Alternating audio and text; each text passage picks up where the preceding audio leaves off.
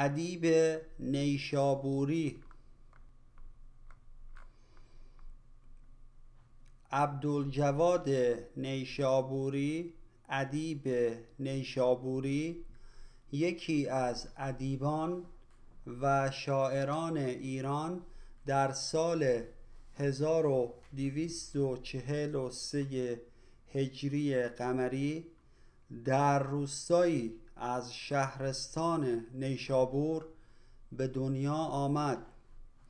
او در سن چهار سالگی بر اثر بیماری آبله یکی از چشمان خود را از دست داد و کور شد. ادیب نیشابوری حافظه و استعداد قوی داشت.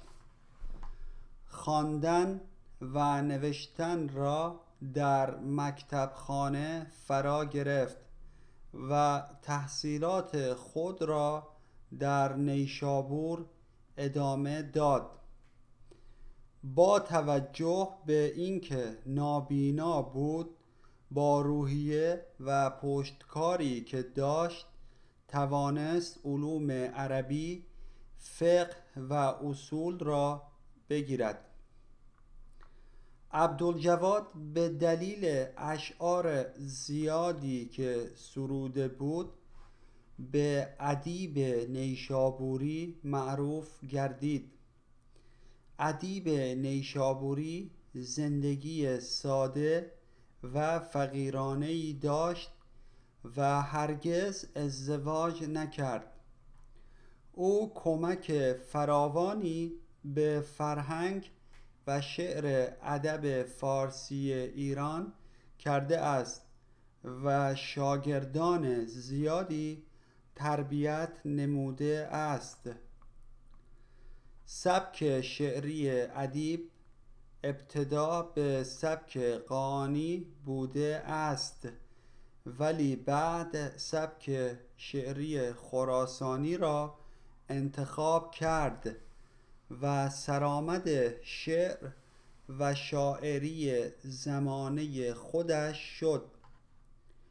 دیوان ادیب نیشابوری نزدیک به شش هزار بیت است.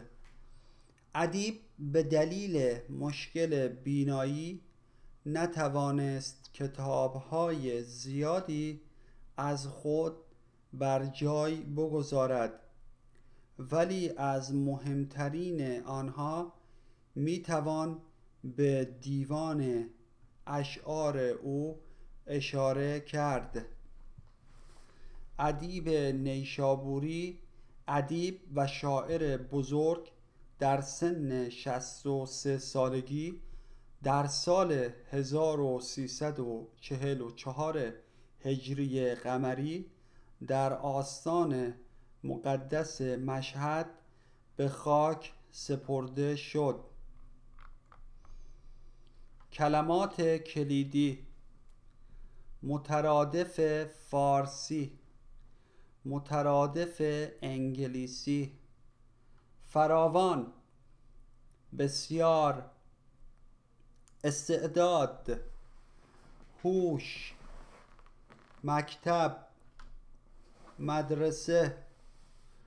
مقدس مورد احترام روحیه ذهن کور نابینا فرا گرفتن یادگیری.